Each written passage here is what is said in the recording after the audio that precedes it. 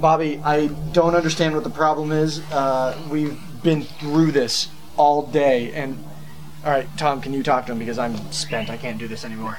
You just look in the camera and say your lines. I mean, really, what's the problem? What's the problem? Do you not see a problem with what I'm wearing right now?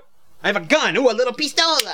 No, I can't wear that. This isn't even a real sombrero. It's a gardener's hat. And with your fucking chicharrones, all right? And this goddamn dog-haired covered poncho. Okay, I'm not doing this. All right, just because I'm Mexican, you decide to shoot me into this prolo, huh?